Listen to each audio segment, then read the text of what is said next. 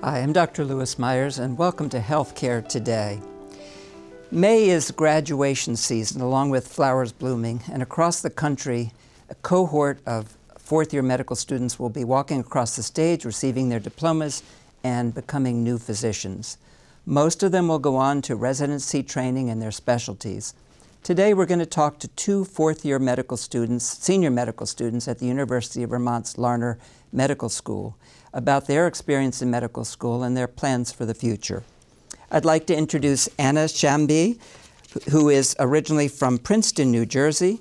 She went to Middlebury College. She did some post-baccalaureate work at University of Vermont and is now a fourth year student at University of Vermont Medical Center. She will be going uh, next year to George Washington University in Washington, D.C. to specialize in obstetrics and gynecology. Mr. Ben Weaver grew up in Bedford, Massachusetts. He went to the University of Vermont uh, for undergraduate, and he will be going to Beth Israel Hospital in Boston, Massachusetts to specialize in radiology. Welcome to you both. I know this is a busy time of year as you try and transition and get ready for, for next year. We're going to talk a little bit about your experiences. It began before you went to medical, got into medical school. Uh, I'd like to ask each of you briefly what made you decide to go into medicine? And then, secondarily, what made you decide to go to the University of Vermont Medical School? I'll start with you, Anna. Um, so, I knew somewhat early on that I wanted to go into medicine. I had read books by Atul Gawande in high school and ultimately went to Middlebury College where I studied international and global studies because I was interested in how um, cultures work and uh, societies function and how people exist in the world, but was also really interested in the science of how humans work as well and realized that medicine was really the perfect blend of it. Um, and Atul Gawande talks a lot about that, how medicine is really the art and science of medicine and I think OBGYN specifically, you see a lot of the sociocultural, sociopolitical um, workings in how people seek care and how people receive care as well. So that's what drew me initially. And then how about University of Vermont? What, what about, uh, of course you went to school in Middlebury. Yes. Was there something about University, at Larner Medical School that, that called to you? A number of reasons. I think studying in a place as beautiful as Vermont was a big draw. Seeing the mountains from the anatomy lab was something that you really don't get to see elsewhere. Um, and then really the active learning curriculum where we as students are not just sitting in lectures but really working together in the first, particularly the first two years of um, We're going to talk learning. about that in just a minute. It's a very interesting um, uh, program at UVM. Um, Ben, how about you? What, what led you into medicine and, and why University of Vermont? Yeah, I think there were a couple of things that were um, that I was thinking about when I wanted to decide on a career. I, I, had grown up in kind of a science household. My dad was a, a chemist growing up, and I knew that I loved the sciences. So um, I think when I was graduating from undergrad, I was kind of considering what direction I wanted to head in. Did I want to? I think I wanted to pursue graduate school, but I wasn't mm -hmm. sure. Um, so I actually took a year off. I spent a year in Washington, D.C., and I was volunteering full time down there. Um, I was a tutor and a mentor to students oh, wow. in a under-resourced community. Um, and I think at that moment I realized that I really wanted to make sure that I committed my life to helping other people. And so I think it was a really natural thing for me to say, hey, I already know that I really enjoy the sciences and I feel compelled to do them, but I also want to make sure that I'm doing something every day that I, I feel confident that I'm waking up and I'm doing something for the betterment of other people, I suppose. Um, and then I saw you nodding your head when uh, Anne was talking about the University of Vermont uh, and the beautiful mountains. What else drew you up here? Yeah, I think I think she hit the nail on the head. Really, um, I think the other component that she uh, is probably thinking about as well is that just the I think really great sense of culture and community, and I think collegiality between all of us as med students was really really great here. Um, I know that during my four years here, I really was shocked with the number of close friends that I was able to make mm. and the, the strong sense of support that I got from both my, my classmates, but also the administration and, and the faculty as well. And that, uh, I, that does not happen everywhere in every medical school. So uh, that's very nice to hear. Now, traditionally, over the past hundred some years, the medical school's been divided into the first two years are uh, basic sciences, they call them the preclinical years, and then the third and fourth year are, you begin to work with patients and learn from uh, professors who are actually in the field. Um, University of Vermont has changed that a little bit. Um, as have many medical students uh, schools now. Uh, students are now exposed a little earlier now to clinical experiences. But in particular at the University of Vermont, there's this program that you alluded to, the uh, small groups. Um, do you want to tell us a little more about that? I will say traditionally, those, those basic sciences were taught in large lecture halls with a professor droning or lecturing on uh, students when they could stay awake, taking notes, and then you were tested on, on uh, what the professor had said. Tell us about what University of Vermont does, which is a little bit different. Sure, and Ben, please jump in um, in this. But the active learning curriculum is based on a flipped classroom model. So students are prepare for the next day's material ahead of time, um, either the night before or a couple days before, and then come into class and um, instead of having the traditional lectures, like you said, in the rote learning, we engage in problem-based, case-based learning and work together. We, we quite literally sit in groups of um, groups of tables and work through problems together. And then those are interspersed oftentimes with sort of mini lectures to clarify certain topics, but um, our entire preclinical curriculum was based on this flipped classroom model. Now, students, uh, medical students have to take step one of the boards, usually at the end of the first two years, and that goes over the basic sciences, and it's important that they be able to pass those tests. University of Vermont has had this program in place now for several years. Is the pass rate on step one holding steady? You know, I can't. I can't comment. I actually don't know. I imagine so, though. Is that true? I, I, believe so. Yeah. Yes. And when you got to your clinical years, was it helpful to have been in these small groups? Do you think, or did do you think it made? Of course, you don't know from the lectures, but uh, what about those? This kind of learning helped? Do you think? Um, I think I think when you're working in the small groups, you are required to kind of voice out loud your opinions about certain things. And I think mm. sometimes when we're working in clinical teams, that is what we talk about, or we we do end up having to um, speak out loud about you know physiology and anatomy. And in a way, working those small groups kind of helps you know grease the groove so that we're already mm -hmm. feeling comfortable doing those things. Um, I also think it kind of facilitated a really um, sense of you know support and community amongst us as students, and I think that translated well to when we got to the clinics uh, to our clinical rotations rather, um, so that we knew that when we were in those teams, we really did want to work as a team because we knew that we were better off supporting one another than we were working individually. Was there any downside that you could see to having the small group, learning through the small group? It's a lot at first. It's certainly a, a new experience. Um, definitely, you know, I'd, I'd, worked in a couple of small groups in college, but not not to the extent that we were doing it every single day for you know most of the day. So. Mm -hmm I think there is an adjustment period to, to doing it. Um, like I said, every single day, preparing beforehand, the night before. Um, but then I think you, you do catch into a rhythm towards the middle of that first, first couple of months. And then by that point, you feel like you're, you know what you need to do and you know what, um, what sort of things are high yield and important and what sort of things you know you can maybe just save for a later date. That's super important. So then you move on to the clinical years, third and fourth year. Third year, of course, usually involves going from one rotation to the next, uh, different specialties, learning some of the basics of those clinical fields. Uh, fourth year, you continue to, you can start to choose some electives. Uh, and also, I believe you do an acting internship where you essentially function as an intern, but under very close su supervision from the rest of the team. Um, tell us about those years. In particular, I think last year's graduating class was probably even more affected by COVID, but certainly yours may have been affected as well. Talk to us a little bit about how COVID affected your training and also what those clinical years have been like for you. Sure. So I actually did my clinical rotations down at our branch campus in Connecticut, where we have two community hospitals that we can rotate at, Danbury and Norwalk hospitals. Um, so it, the, the transition from Vermont down to Connecticut was certainly affected by COVID. We had become really quite close-knit as a group largely because of the pandemic and, and also just because UVM fosters that sort of environment.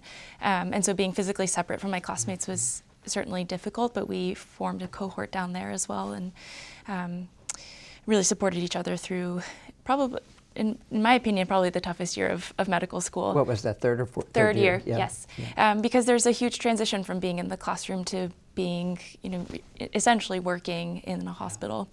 And it was I think very interesting in Connecticut, particularly being that area being um, sort of the New York metro area, seeing just how much the pandemic had affected people's access to care, and also the the stress on the workforce. Um, I think particularly in the two hospitals I was in, see the um, really the, the, hospital staff mm-hmm. working um, uh, maybe more hours or being completely understaffed as well. And so learning to integrate yourself into that team and not only be a medical student and try to learn, but also balance that with trying to be helpful in a particularly stressful time uh, was something that I think I, I really got to learn because of the pandemic. Yeah. How about you, Ben? Yeah, I think I, I do want to um, echo what Anna said about third year kind of being the most the most challenging of the, the years of medical school, where we are transitioning from a preclinical year or preclinical curriculum to actually being in the hospital and really trying to apply what we're learning. Um, COVID, I think, did kind of compound on that and make things a little bit more difficult because not only were we um, uh, moving from a preclinical to a clinical curriculum, but we were moving from a primarily online curriculum to a in-person curriculum. So there was a little bit of an adjustment period of uh, I guess, learning how to, to go back into the workforce and be in person and, and kind of navigate all the different rules and, and regulations surrounding COVID as well within the hospital. Um, on the plus side, though, I did feel like uh, when, when the pandemic first happened and everything seemed to go remote, we did seem like we were able to still like bond and connect and kind of feel like we had gone through a really challenging and unique experience in life together. And I think that's sort of uh, fostered a really deep sense of community amongst amongst our classmates is, is knowing that not only we, did we make it through med school together, but we made it through COVID together yeah. too. Ben and I actually we we were part of a, a, small group where we tried to keep the active learning curriculum uh, alive through Zoom, and so we would we would still work through problems together as a group, but just do it all over Zoom. And so we did that a couple times, even though we some of us left Vermont and were scattered. Yeah. The, uh, you know, I, I, came of age during uh, training during the uh, AIDS epidemic, and I think that in the 1990s, and I think there's some similar echoes in that time of uh, uh, that you've gone through now with COVID.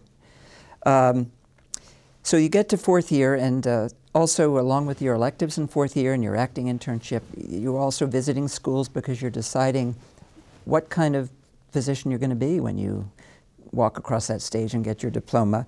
Um, you, most people, as I said, go into residency training, which can vary anywhere from three years to, case of neurosurgery, up to eight years. Um, and it's very interesting. We were talking about this before. There is something called Match Day for fourth year students across the country, and that's one day. It's kind of like the NFL or the NBA draft, because on that one day, everyone gets their envelopes and they uh, see where they're going to be going based on the choices they had put in uh, prior to that and what the programs, how the programs evaluated them. So it's a very big day. Um, tell us a little bit about Match Day. What was your experience, uh, Anna? that was a whirlwind of a day. um, uh, it really ends up being match week. It's kind of a two-part process where on Monday of match week, we, we get a letter saying we did match. And yeah. really that's kind of when you get to breathe this big sigh of relief yeah. and say like, you know, I, am going to the next step and I going feel somewhere. I'm going somewhere, somewhere to continue my training, which is what you know you, you want when you've applied into the match. And then on uh, the Friday of that week is when you get to open up the letter that says exactly where it is that you're going, and uh, that's a emotionally challenging and uh, uh unique experience because I don't I can't think of another time in my life where I'm going to open up a letter that's going to tell me where I'm going to go for the next, in my case, like five years. Um, so, you know, I know that there are some classmates that are thrilled when they open the letter and they're, they're absolutely ecstatic that they're going to their, their top choice. Um, I know Anna is going to her top choice, so she's absolutely thrilled. Mm-hmm. Um, but I know that there are other people too that are, are a little bit more disappointed. And I think there's, um, I think, you know, from speaking to my classmates at this point now, we're all a little bit, as, even if we're not going to our top choice, we're still finding the silver linings to things and looking on the positives and, yeah. and kind of seeing it as an opportunity to grow in a different place that we maybe didn't expect. It also feels like the culmination of, you know, eight plus years, yeah. college, um, medical school, and even before that of of work to get to where we want to be. And so it's it's really very emotional. Um, well, you realize you're going to be, in your case, an OBGYN, you're going to be a radiologist. You're already, maybe that's the first day you begin to take on that, for real, that ident professional identity. Um, Anna spoke about why she, how she came to choose OBGYN. How about you in radiology? Um, you know, I I had an inkling coming into medical school that I was interested in radiology. I actually uh, I, would worked for a as a medical scribe for a little while prior to, to entering medical school, and I had an experience where um, I was working with a physician who um, I, I, developed a pretty close relationship with, and prior to seeing a patient, um, he wanted to uh, review a CT scan uh, prior to, to seeing them in the room, and he walked me through the anatomy of the CT scan, and it was the first time I'd ever opened up and looked at any sort of medical imaging before, and I remember just getting this really big grin develop across my face because I was blown away that we were able to look inside this person's body and see what was going on with their, in this case, their kidneys were overdistended. Um, so I, I have a very specific memory of saying like, wow, that is absolutely incredible that we can do that. Um, and so when I made it to medical school, you know, I, I still wasn't totally sold on radiology. I felt like I would have a hard time seeing myself um, in my ideal self as being a doctor, but still working as a radiologist. So um, I definitely still tried to commit myself to several different specialties. Um, I actually was surprised at how much I liked OBGYN. Um, but when it came down to it, uh, when it came to the fourth year, I had the chance to, to rotate through interventional radiology, which is a specific field of radiology that allows you to do image-guided, minimally invasive procedures. And I felt like I got to have this perfect balance of doing procedures, working with incredible technology, but still getting to see patients every day and feeling like um, I am the doctor that I want to be. Well, interventional radiology is a terrific field, and, and in fact, many of the um, procedures that surgeons used to do now, interventional radiologists do, perhaps somewhat less invasively. So it, and it's uh, always changing. I want to ask each of you a specific question about your, your chosen profession. For radiology, uh, we've been reading recently, of course, act, uh, artificial intelligence is having its moment, and its moment may go on for quite some time.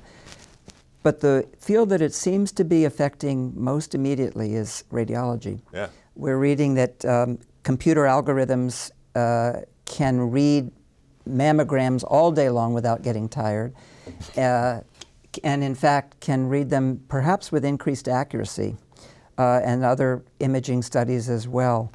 Um, in the radiologists that you've spoken to, are they concerned? Are they happy? Are they concerned about their profession? What are you hearing? You know, it's it's been interesting uh, for me as I've you know spoken to different faculty members across the different specialties.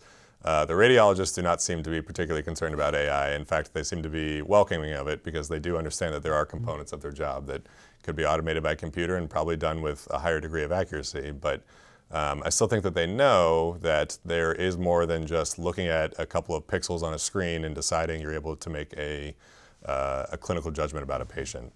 Um, so as much as there are components that I think are are going to be automated, and I, I, certainly welcome those things because I think they're tedious and a little bit boring. Um, there are still much greater components of radiology that I think will not be replaceable for at least the foreseeable future. Certainly the interventional radiologists and, and will continue I, to do what they do. That's right, and I feel, you know, I know that that's a, the direction that I want to head in with my career is interventional radiology, which I know will certainly not be um, not be replaced by artificial intelligence anytime soon because it involves hands-on interactions with patients. Yeah. And Anna, you spoke earlier about the fact that OBGYN brings in different cultures, and you'll be in Washington, D.C., which is certainly a multicultural city and, and region. Um, and you'll be at my alma mater, George Washington University, so I, I wish you all the best there. Um, you are going into the profession that perhaps more than any other, unfortunately, or right now, is in the political crosshairs. And I'm not going to ask you your opinions on abortion uh, in this interview, but but it there is so much, uh, particularly obstetricians have been really in the crosshairs of this discussion. How does that impact you, or how do you foresee that impacting you? I think, like many other future OBGYNs, I've been very, very motivated by that. Um, I think it can feel very overwhelming to to think about the the gravity of what's happening in our country and the political issues and the intricacies of bureaucracy and um, figuring out uh, exactly the, the policies. Mm-hmm. But I think what I try to focus on is that um, it, our day-to-day interactions, one-on-one interactions with patients are what is really going to end up mattering the most. And so I'm hoping to really focus on that while also staying in tune with all the broader political issues. And I think being in our nation's capital will be a very interesting place to be for uh, thinking about reproductive access Yeah. and um, abortion rights. Have, is, is the field f- facing a lack of obstetricians in the future because of, well, various things? First of all, it's a very difficult residency um, in terms of the hours that, that you'll be spending in the nighttime. You know, people have babies all night long. Uh, so you'll be up all night long for, many, for the next several years. But um, aside from the difficulty of the residency itself, are there, is it facing a, a lack of uh, obstetricians from what you know? My understanding is that actually match rates have um, it, it have decreased in the past years, meaning that there actually have been more applicants to OBGYN. And I think largely because it, in some ways, is a very, very biased, but is a very attractive specialty because it, it blends the procedural also with uh, a longitudinal primary care component. And um, again, I think many people are motivated uh, by the political climate to go into OBGYN and make some kind of a difference in patients' lives or in um, our society. How about radiology? Are the numbers still robust? I mean, when I, I remember 20 years ago, it was the one of the toughest residencies to, to match to, to get accepted to. How about now?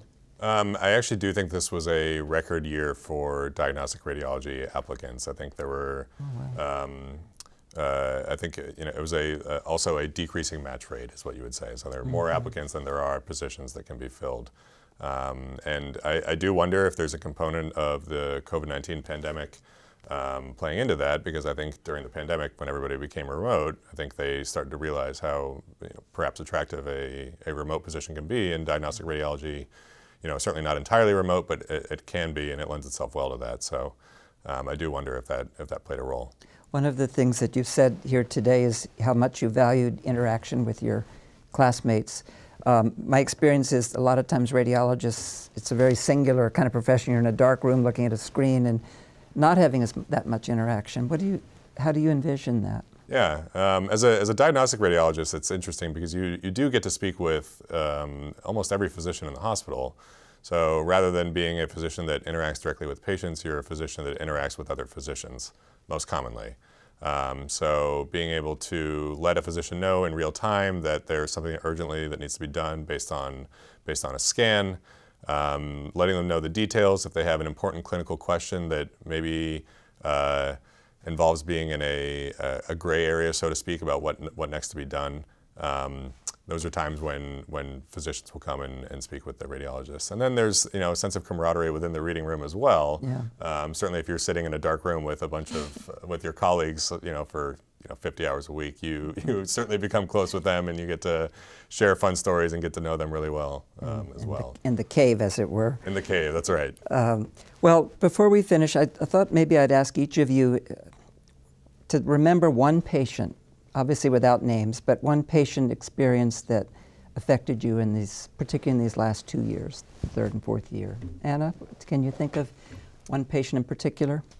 I actually wrote about this patient in my personal statement to oh, residency programs. Um, we had a patient in the gynecologic oncology clinic, so a cancer, um, reproductive cancer clinic, and this patient walked in and as a medical student, I go in first, and usually you open with, Hi, I'm Anna, I'm a medical student. What brings you in today? And this patient said, I actually have no idea why I'm here.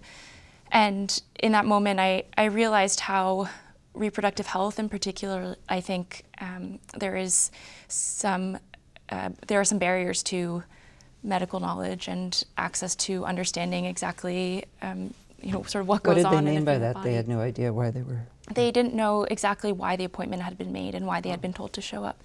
And ultimately, it was because they were being enrolled for a HPV vaccine trial. Um, this patient had recurrent, um, had, was at risk for cervical cancer. And so they had been advised to, to come to this clinic, but they had thought that there was something wrong. They were experiencing some pelvic pain as well and thought that there was something wrong with their ovaries. And so um, when I left and came back with the attending physician, he actually sat down with the patient, brought out a blank sheet of paper, and started drawing the anatomy of uh, reproductive anatomy. Um, and I realized that in that moment, there's a lot of room for uh, health education, and particularly around uh, women's health and that that I think has stuck with me as something that I hope to be able to do is to clearly explain to patients mm -hmm. and meet them where they're at in terms of their medical knowledge and literacy. Um, did you ever get to see that patient again? Did they come back? I did not know. Okay. Ben, what do you think? What, can you remember one? Yeah, I, I had one um, patient interaction that really stuck out to me for a number of different reasons. It was my the first patient that was assigned to me on my internal medicine clerkship, and the chief resident at the time, you know, told me that there was an admission overnight, and it seemed like a typical case of community-acquired pneumonia. Um, so it sounded like a great place for a young medical student to start out. Um, when I met the patient, um, I think this was the first time that I experienced what's called countertransference, where I felt like the patient reminded me a lot of my dad, and that gave me a lot of, um, I think it tugged at my heartstrings a little bit and made me feel like I was um, kind of instantaneously connected to this guy. He was a farmer from Vermont. Um, he wasn't somebody that's seen a lot of doctors in his life. He uh, was a little bit standoffish and maybe a bit of a curmudgeon, but that kind of made me like him a little bit more. Um, and as it turns out, you know, this was also an interesting case from a clinical perspective. He didn't have a typical community-acquired pneumonia. He ended up having a uncommon uh, fungal infection of the lung that actually had disseminated to parts of his spine as well. Um, so from a clinical perspective and then also a radiologic perspective, um, he had very interesting findings um, and an interesting hospital course. So um, as part of the treatment for this fungal infection, we had to give him a pretty uh, pretty nasty antifungal medication that unfortunately he had an allergic reaction to that required um, a rapid response called to, mm-hmm. to his room because he was having difficulty breathing. Um, and so I remember hearing that, and I remember instantaneously becoming a little bit defensive and a little bit upset that you know that sort of thing had happened to him. And I think I think the component that really made me feel defensive was when the uh, infectious disease folks said, well, you know, that is the medication that needs to be given to him. You're just going to have to pre-treat him. And it felt like to me at the time as a young medical student um, that that was a little bit careless and I, I kind of wanted to protect this person from having to go through that, that pretty nasty medication again and having that nasty reaction. Um, ultimately, everything worked out fine. Obviously, the infectious disease folks know exactly what they're doing, but um, so I think the bottom line of that story is that, that sense of defensiveness and feeling like I needed to protect this person from what I felt like was a, you know, a, a treatment that might hurt him and that would make me worry about him was the first time that I noticed that I had that sense of, uh, of countertransference and seeing somebody that was close to me in a patient that I, hmm. that I was working with. Well, it's also the Hippocratic earth, oath, right? First, do no harm. That's right. Which is, um, uh, which is important. Well, I think that's, that is a really important lesson. Uh, both of you, uh, uh, in, you know, uh, talked about. Um, and if you hadn't before, when you go through medical school, you see death for the first time up close and personal. You, any particular reaction to that? When do you remember first patient that died? Um, you know, the, the, so the patient that I just spoke about with, when I did follow up with them in you know a couple of months, and by follow up with them I mean uh, see how they had gone through you know the medical system. Unfortunately, did pass away only a few months mm-hmm. after their uh, after their diagnosis and their treatment, and mm-hmm. it wasn't clear what had happened to them. Um, just to say that they they had been deceased. So that was that was certainly a tough thing to um, to see. Although it's it's different when you are when you are seeing the person, I suppose, in, in real life as opposed to just seeing their chart. You know, when you open mm-hmm. their chart and you see the words you know, deceased over it, it obviously your, your heart sinks a little bit, but it, I don't think it has the same magnitude as uh, seeing it happen firsthand. Yeah. Well, speaking of magnitude, uh, it is a quite, when you walk across the stage, I don't know if you'll be going left to right, but when you start on the left side of the stage, what is graduation day? May 21st. May 21st. 21st okay. uh, when you walk across the stage, when you get to the right side of the stage, you will you're, you'll be in a very different place. You'll be a physicians. And uh, I, I, I, remember thinking that uh, the first thought I had was because I was taking a plane the next day somewhere, and I said, "Oh my gosh, if they say is there a doctor in the plane, I'm going to have to raise my hand, stand up, or something." But but it is you're taking on a great responsibility. It sounds like you both have prepared well, um, and I I think that uh, University of Vermont's medical school, Larner Medical School, has, has served you well. It sounds like, um, and I wish you both all the best. Thank you for for joining us today and good luck. Thank you for having us. Yeah, thank you for having us. This was great.